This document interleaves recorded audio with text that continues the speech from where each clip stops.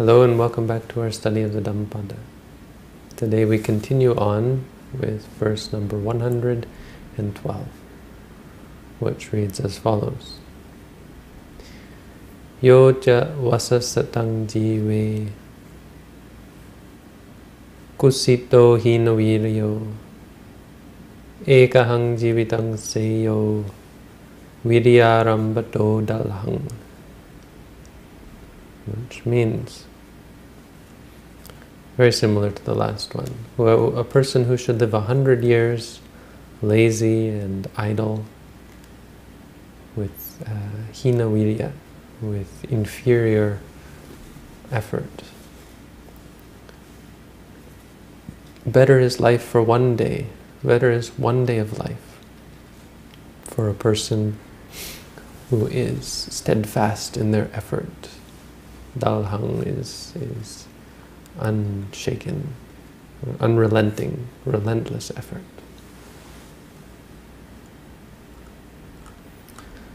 So here we have an interesting story. It's a story of suicide, a story about suicide. One of these suicide stories that often gets talked about in Buddha's teaching. This one is one of the not so controversial ones. There's not much controversial here. That's very quite interesting.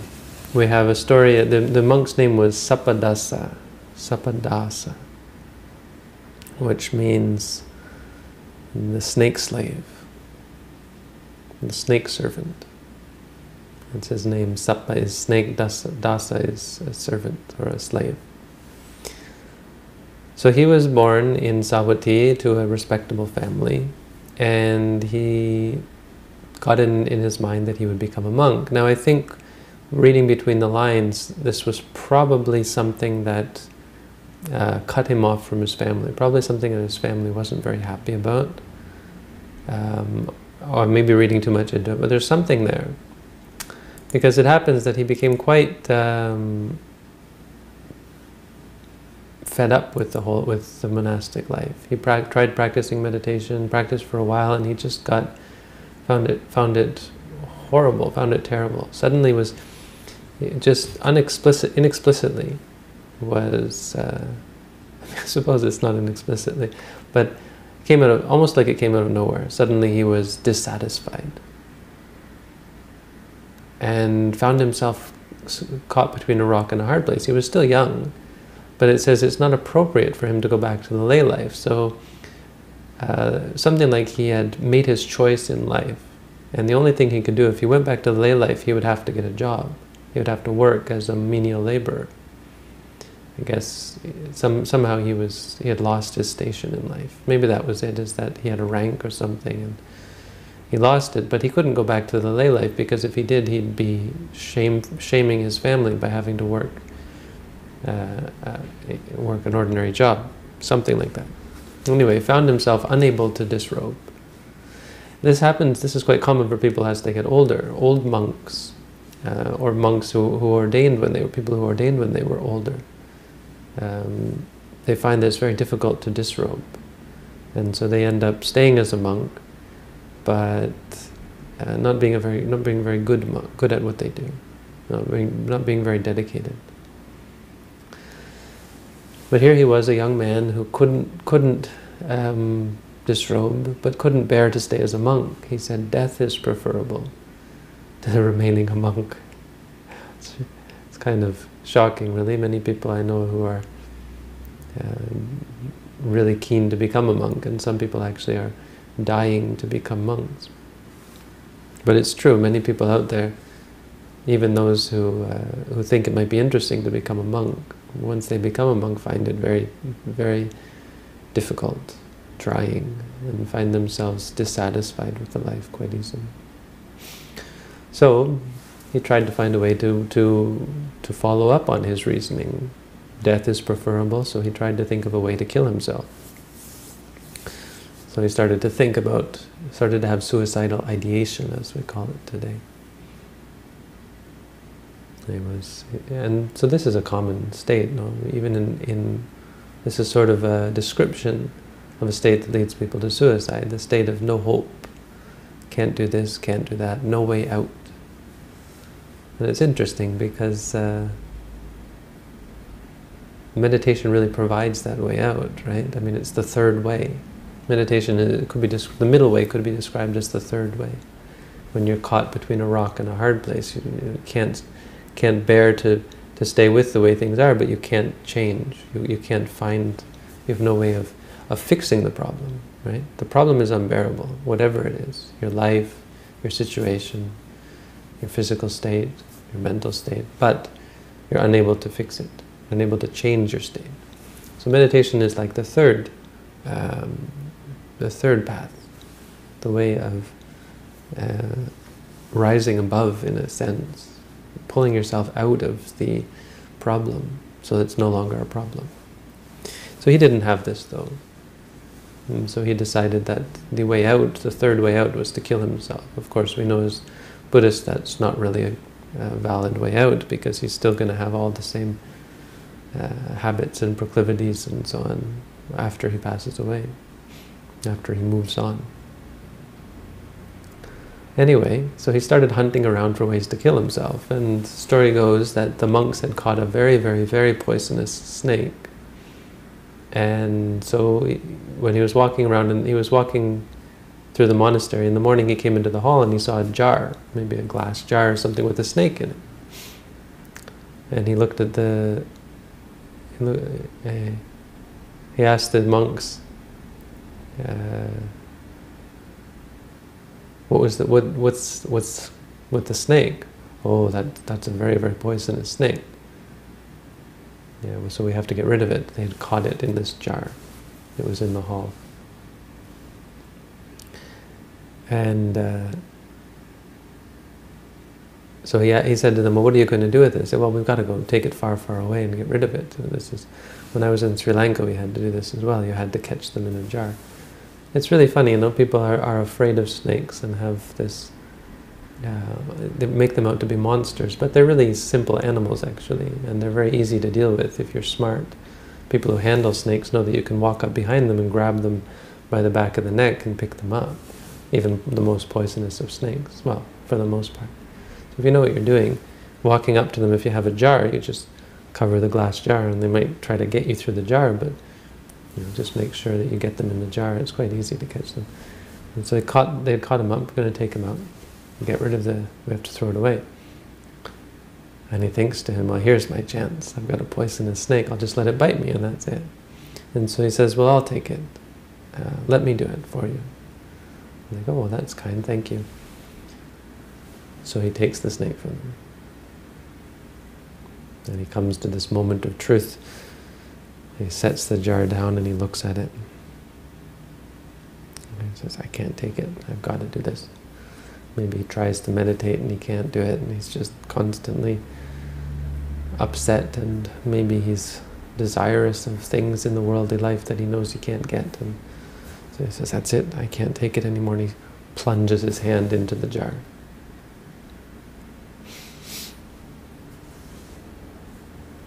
And nothing happens. And he looks down and there's the snake, sort of coiled up around his hand. He shakes his, arm, he shakes his hand around. Nothing. He flicks the snake, pokes its head. Nothing. He starts to get a little bit upset and he pokes his finger at the snake's nose. And then he takes his other hand, and nothing happens. So he takes his other hand and he pries the snake's mouth open and he sticks his finger in the snake's mouth and nothing happens. The snake pulls back and avoids him. And he shakes his head. He said, that's not a poisonous snake. That's just a common grass snake. And he goes and he throws it away.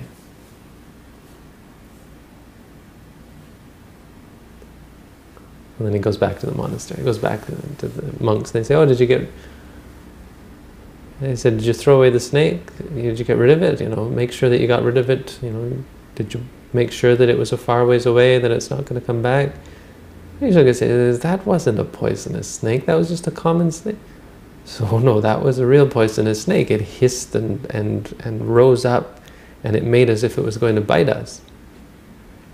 And he says, whatever, I just stuck my hand, I just stuck my finger in the snake's mouth. Why did you do that? Well, I'm trying to kill myself. or he doesn't quite say that, but he said, I tried to make it bite me, putting it, my finger in its mouth. And the monks were quiet. Hmm. Hmm. That's basically he's saying that he was trying to kill himself. So, hmm. okay, interesting. And they didn't understand either. It's kind of a weird thing to say. How could that possibly be? An odd occurrence for sure. Nonetheless, the monk was unsuccessful in trying, Sappadasa was unsuccessful in trying to kill himself.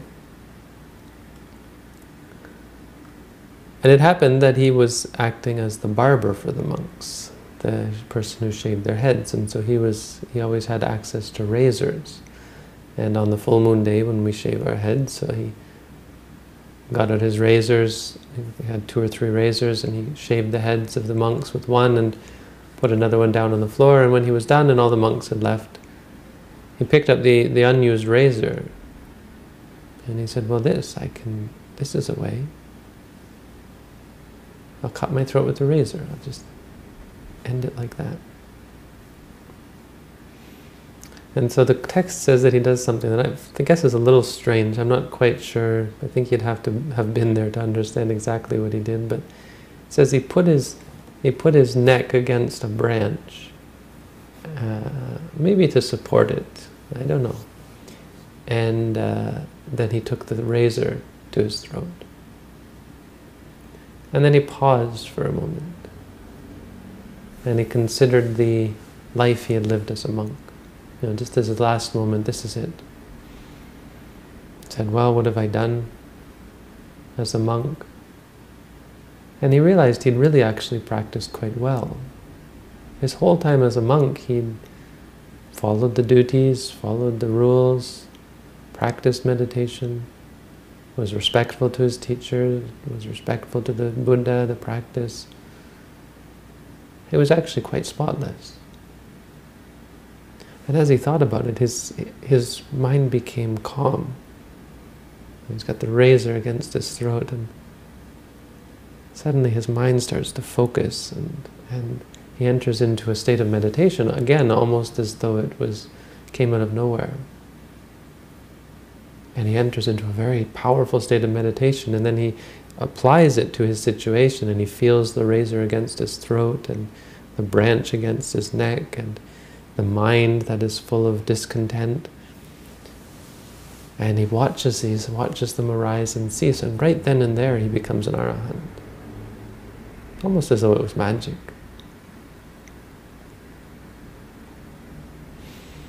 And he puts the razor down and he walks back to the monks.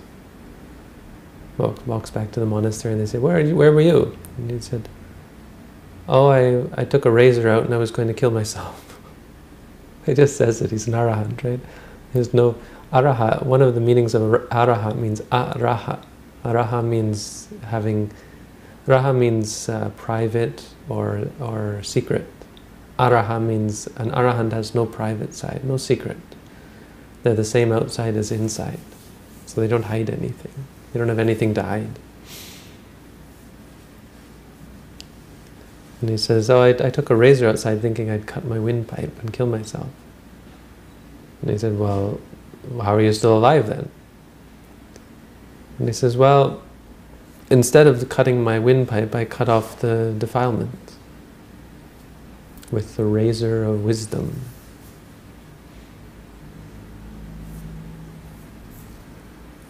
And the monks look, turn to each other and say, oh my gosh, what, what a huge, what kind of a lie is this guy telling, right? How is that possible? So they go and tell the Buddha and they say, we got a monk here who thinks he's enlightened or he's lying about it or something. You know, we can't let this stand. And so the Buddha calls this monk up and he says, uh, he doesn't call the monk up. The, the Buddha listens to them and, and already knows the truth. So he says to them, you know, the people who are enlightened can't tell a lie. Basically saying he's enlightened, he's not lying. And they say, Bhante, your, your sound, the way you're saying, speaking, it sounds like he's actually enlightened. But how could that be? He was trying to kill himself. He was so discontent. He was discontented about the the holy life. And another monk pipes up and says, yeah, and how, how is it that uh, he tried to kill himself and this snake wouldn't even bite him? You know, what's, what's the story of this guy? Why, is he, why are these strange things surrounding this monk's life?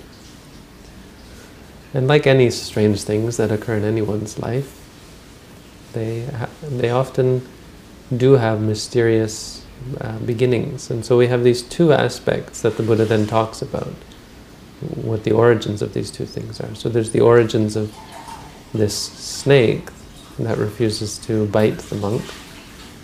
And yes, that's where he gets the name Sappadasa, it's the snake slave. And the Buddha doesn't go into details about that one, but he says that in a past life, that snake was a slave or servant uh, of this monk. And so it was, it was this connection. By this connection, that snake refused to bite just as his servant, because he was he was used to being a servant, and he knew that he would get punished if.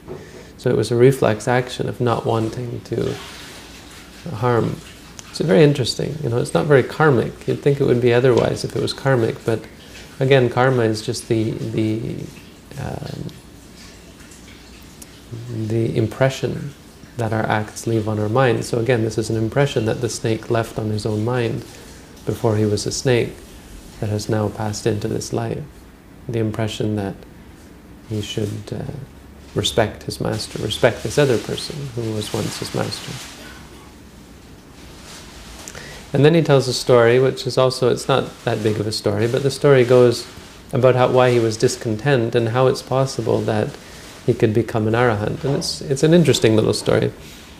There are these two monks, in the time of the Buddha Kassapa, the Buddha says, oh, in the time of Buddha Kassapa there were two monks. One monk was discontent and wanted to leave the monastic life and become a layperson, and he was ready to do it. He had given up the practice, he had given up his, his, his duties, you know, he'd stopped taking care of his um, possessions and so on.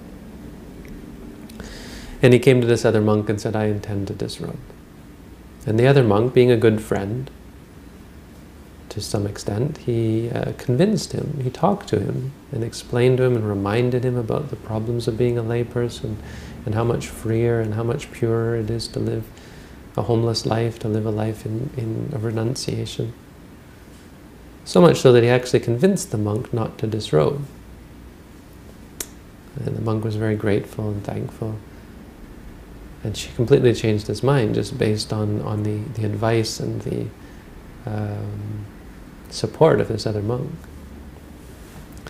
And so he goes back and he's, he says, well, I, I better try again. And he picks up where he left off, he cleans out his kuti and he picks up all his belongings and finds that his bowl has rusted and some of his metal stuff because there was no stainless steel back then. So they had to care for your bowl. You have to oil it actually to keep it from rusting.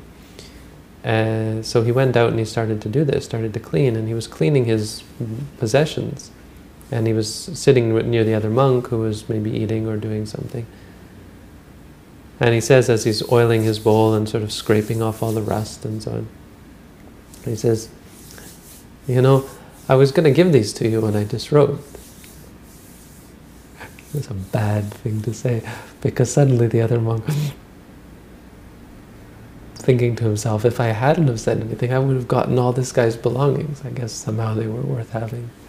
Or not. I mean, it's very easy to get covetous uh, when you're living a life of renunciation. The, smallest thing can grab at you. It's very easy to become attached. So suddenly he became obsessed with these things and he hitting himself over the head um, for, for having uh, know, very, really horrible actually. I mean, it's, it's quite surprising, but, you know, people can be very petty. So he became very petty, and he, he thought to himself, who cares if this guy stays a monk? If I can get him to disrobe, I'll get his stuff. And so from that day on, he started dropping hints and even outright uh, describing the benefits of being a layperson, how good it was, and you know how how preferable it was, and anything he could do to, to reignite this other monk's discontent. It's an interesting story. And then the other monk was really started to become discontent, and then he started to think of himself, think to himself, you know, why is this guy now, you know, before he was so good at keeping me in the monastic life, now he's making me want to quit again. And then he thought to himself, it was after I told him about my requisites, after I told him about my belongings. And that's the end of the story. It doesn't elaborate beyond that, which is very typical of, of these stories, that they're not, they're not really interested in the narrative or making it flow. They just want to give information and they'll just stop abruptly like that. So that's where the story ends. Now he was, he was the monk who was discontent. The Buddha does say he was the monk who was discontent. So that karma of cultivating the habit of being discontent followed him into this life. But I guess ostensibly the story ends there. It's, it seems likely that he didn't leave the monastic life. The Buddha says something about how he spent many, many years in meditation. So I, I, assumedly that's after that fact. He realized that he was being conned and maybe tried to find better friends uh, and, and continue on in his meditation. Because of that, so those two things, the two aspects, this, this proclivity towards wanting to disrobe, but also the powerful meditation that he done. That's what came together. So suddenly, in this last life, he, he continued that desire. When he became a monk, immediately it was a recognition, oh yeah, this is that thing that I hate, that thing that I don't want to do. And so that consumed him in the beginning.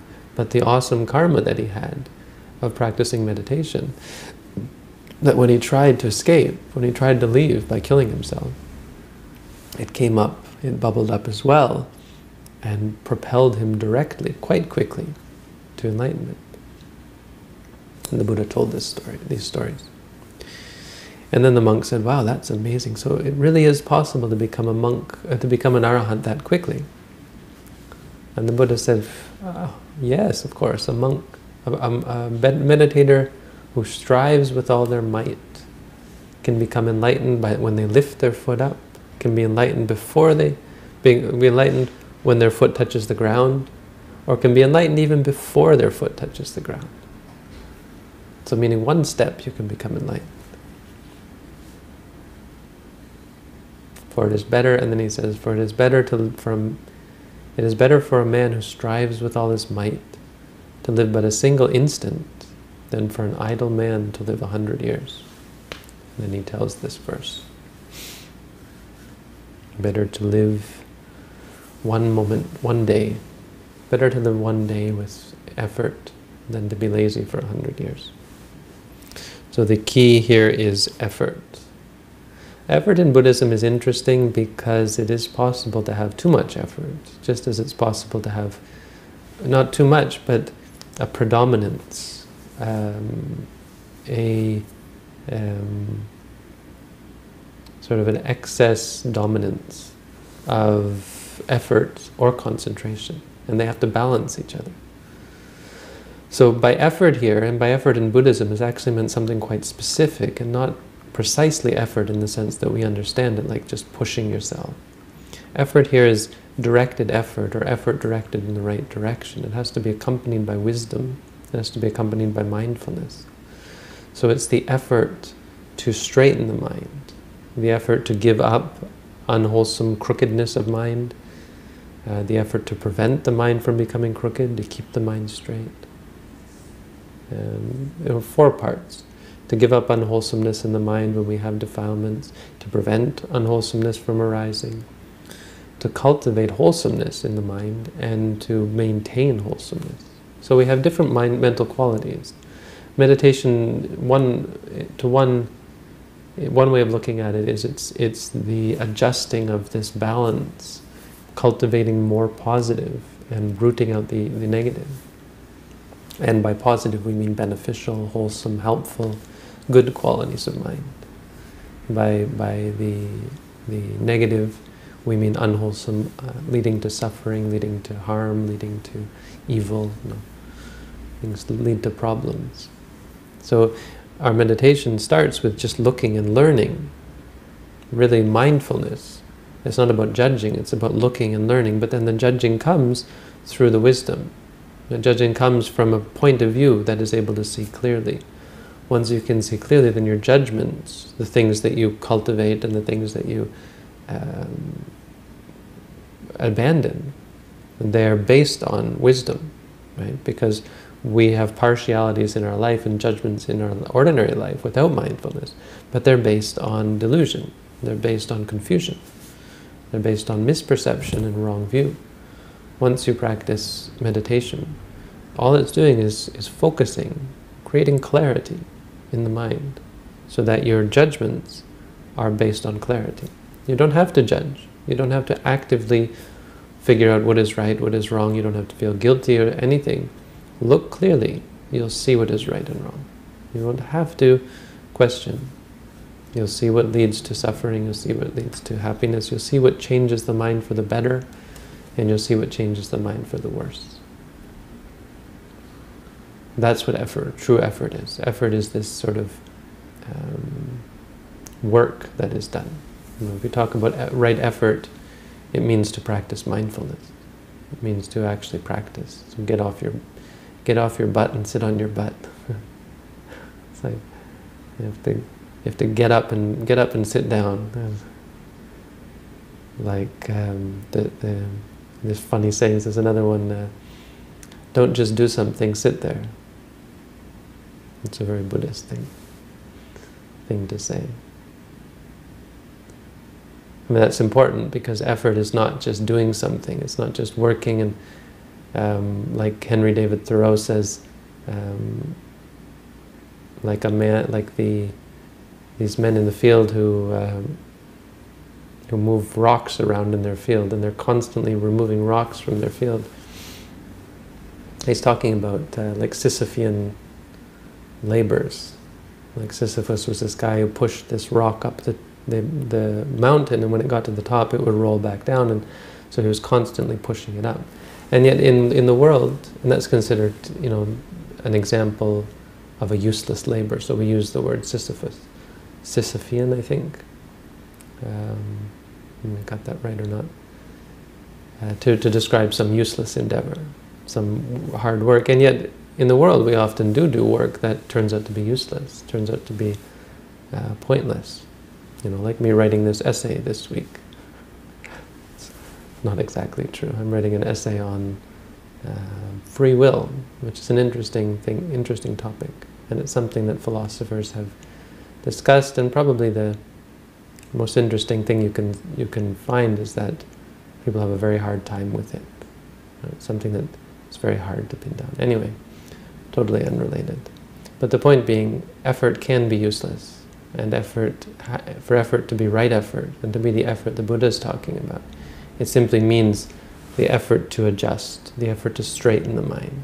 Like we've seen before, the like the, the, that novice Pandita Samanera who saw them directing water, saw them straightening the arrow shaft, uh, and, and he realized what's most important is to straighten the mind.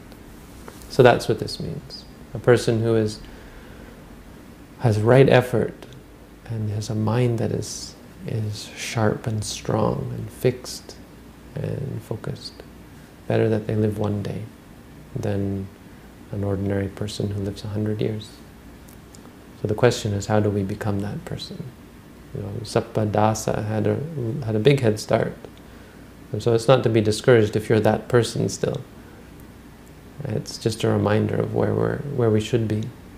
You don't have to work really hard. Work, work, work. It means you have to balance your mind. You have to be mindful. You have to cultivate this rectitude, this upright state of mind.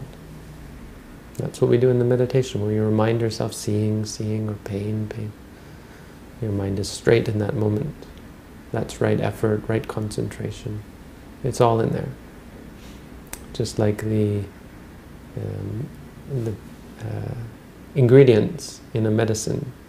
All the ingredients come together, you just have to take one pill. You don't have to go looking for each one. So all of these, that's why each one of these verses is correct. The one talks about wisdom, the one talks about morality, the one talks about effort, and we've still got a couple more to go. But all of them are correct. because they all refer to aspects of the same thing, different ingredients in the same pill.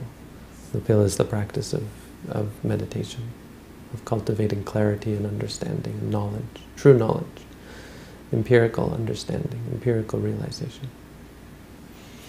So, that's our Dhammapada for tonight. Thank you all for tuning in. Keep practicing. Be well. Good night.